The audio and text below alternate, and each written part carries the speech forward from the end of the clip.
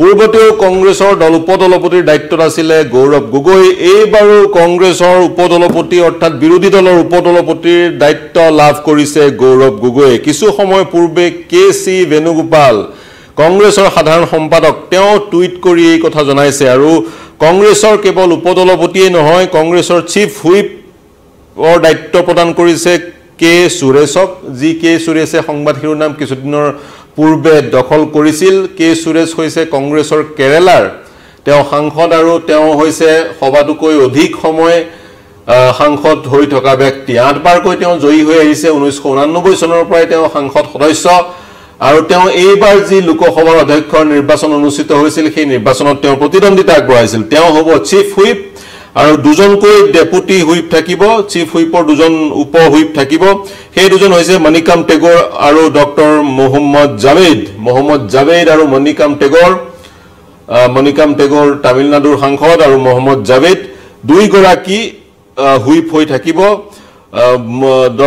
মহম্মদ জাভেদ হৈছে বিহাৰৰ সাংসদ। গতিকে দেখা পোৱা গ'ল গৌৰৱ গগৈ হ'ল বিৰোধী দল কংগ্ৰেছৰ উপদলপতি অসমৰ সাংসদ।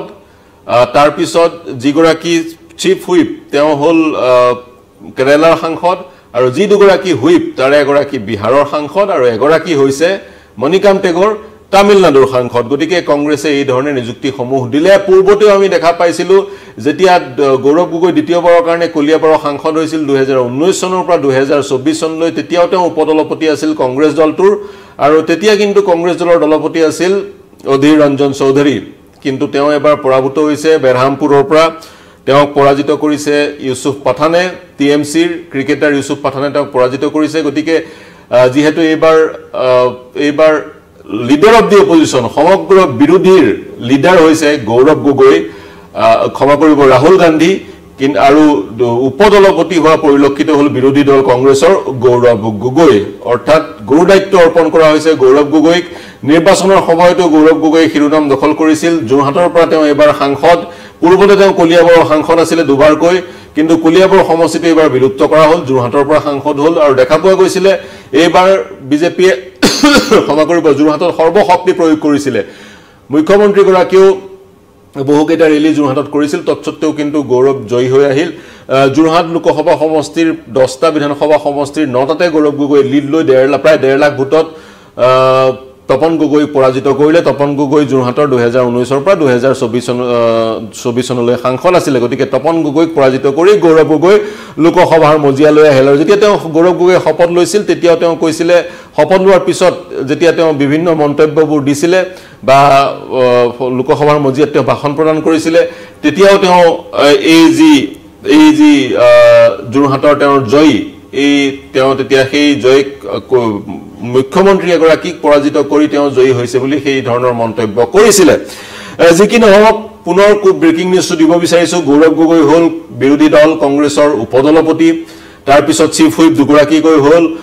বিগত সময়ত দুহেজাৰ ঊনৈছ চনৰ পৰা দুহেজাৰ চৌবিছ চনলৈ সক্ৰিয় ৰূপত কং- গৌৰৱ গগৈক পৰিলক্ষিত কৰিছিলোঁ পৰিলক্ষিত কৰিছিল অসমৰ ৰাইজে।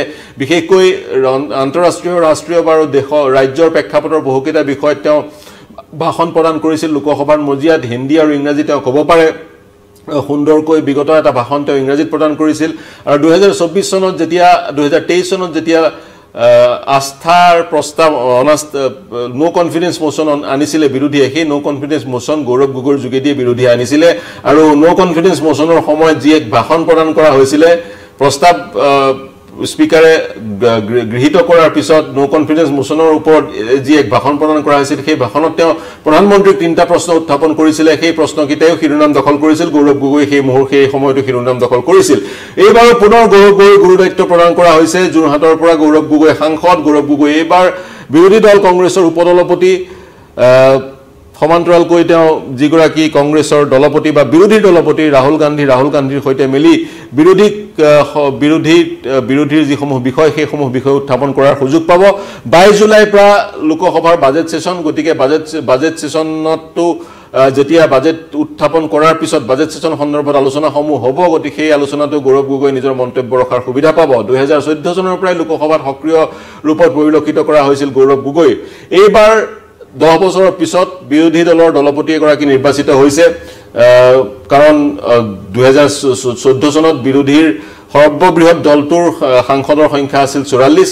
বিৰোধীৰ সৰ্ব সৰ্ববৃহৎ দলটোৰ সাংসদৰ সংখ্যা দহ শতাংশ হ'লেহে সৰ্বমুঠ লোকসভাৰ সদস্যৰ দহ শতাংশ হ'লেহে leader of the opposition officially ঘোষণা কৰা হয়। দুহেজাৰ চৈধ্য চনত কংগ্ৰেছৰ কিন্তু দহ দহ শতাংশ সদস্য নাছিলে মাত্ৰ চৌৰাল্লিছজন সদস্য আছিলে আৰু দুহেজাৰ ঊনৈছত মাত্ৰ বাৱন্নজন সদস্য আছিল। দহ শতাংশ হ'বলৈ চৌৱন্নজন সদস্যৰ প্ৰয়োজন। এইবাৰ প্ৰায় সোতৰ ওঠৰ শতাংশ সাংসদ কংগ্ৰেছৰ গতিকে সেই মৰ্মে এইবাৰ কংগ্ৰেছে বিৰোধী দলৰ দলপতিৰ আসনখন লাভ কৰিলে। কেবিনেট মৰ্যাদা সেইজন হ'ল ৰাহুল গান্ধী। আৰু কংগ্ৰেছ দলৰ উপদলপতিৰ দায়িত্ব এইবাৰ পাইছে ৰাহুল গান্ধীয়ে। ক্ষমা কৰিব গৌৰৱ গগৈয়ে। আৰু কংগ্ৰেছৰ যিটো পাৰ্লিয়ামেণ্টাৰী পাৰ্টি পাৰ্লিয়ামেণ্টাৰী পাৰ্টিৰ মুৰব্বী হৈছে ছোনিয়া গান্ধী ৰাজ্যসভাৰ সাংসদ ছোনিয়া গান্ধীয়ে এক পত্ৰ ইতিমধ্যে স্পীকাৰ ওম বিৰলালৈ প্ৰেৰণ কৰিছে। ওম বিৰলাই সেই পত্ৰ পোৱা মাত্ৰকে সেই যি তেওঁ অৱগত হ'ব গৌৰৱ গগৈ যি উপদলপতি হৈছে অৱগত হ'ব আৰু সেই ধৰণে পাৰ্লিয়ামেণ্টাৰী যিবোৰ ৰুলছ আছে পাৰ্লিয়ামেণ্ট পৰিচালনা কৰাৰ সময়ত আৰু এগৰাকী কংগ্ৰেছৰ উপদলপতি বা বিৰোধী দলৰ উপদলপতি হিচাপে গৌৰৱ গগৈ যি মৰ্যাদা পাব লাগে বা যিখিনি সময় কথা বক্তব্য ৰাখিবলৈ বা মন্তব্য কৰিবলৈ পাব লাগে সেইখিনি সময় অধ্যক্ষগৰাকীয়ে বাধ্যতামূলকভাৱে দিব লাগিব বা দিয়াটো বাঞ্ছনীয় হ'ব। গতিকে অসমৰ কাৰণে অসমৰ কাৰণে প্ৰাসংগিক এক খবৰ অনাগত সময়ত গৌৰৱ গগৈয়ে লোকসভাৰ মজিয়াত কি প্ৰ- প্ৰ- পাৰদৰ্শিতা প্ৰদান কৰে বা বক্তব্যসমূহ কেনেদৰে ৰাখে লক্ষণীয় হ'ব। বিভিন্ন সময়ত বিজেপিয়ে সমালোচনা কৰিছে। গৌৰৱ গগৈয়ে অসমৰ বিষয়সমূহ নহয় সৰ্বভাৰতীয় পৰ্যায়ৰ বিষয়সমূহতহে বেছিকৈ বক্তব্য তেওঁ ৰাখিছিলে। আৰু নেহৰু গান্ধী পৰিয়ালৰ প্ৰিয় পাত্ৰ প্ৰি- প্ৰিয় পাত- পাত্ৰ হ'বলৈ তেওঁ সেই ধৰণে সক্ৰিয় ভূমিকা লোকসভাৰ মজিয়াত পালন কৰিছিল বুলি বিৰোধীয়ে বিজেপিয়ে সততে সমালোচনা কৰা গৌৰৱ গগৈ পৰিলক্ষিত হয়।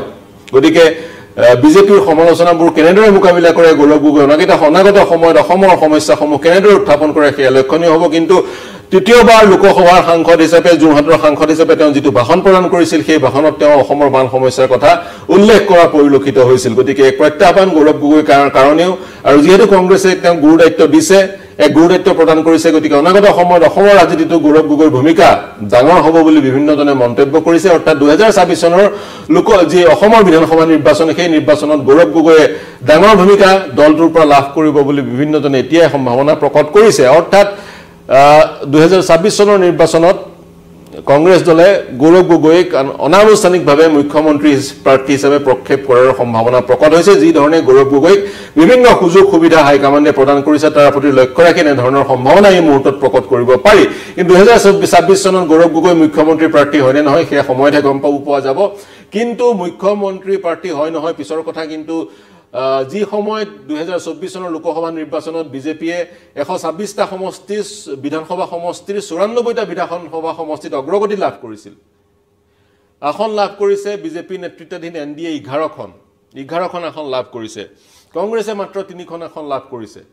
ৰকিবুল হুছেইন জিকিছে প্ৰদ্যুৎ বৰদলৈ জয়ী হৈছে আৰু গৌৰৱ গগৈ জয়ী হৈছে। কিন্তু গৌৰৱ গগৈৰ এই যি জয়লাভ জয়লাভে নিৰ্ণায়ক ভূমিকা পালন কৰিছে বিজেপিৰ ভিতৰ চৰাত এক প্ৰকাৰৰ ভূমিকম্পৰ সৃষ্টি হৈছে বুলি ক'ব পাৰি গৌৰৱ গগৈৰ এই যোৰহাটৰ জয়ে। এতিয়া দেখা পোৱা গৈছে বিজেপিত বিসম্বাদ বহুকেইজন বিজেপি নেতাই বিজেপি ত্যাগ কৰিব বিচাৰিছে অন- অন্য দল যোগদান কৰিব বিচাৰিছে।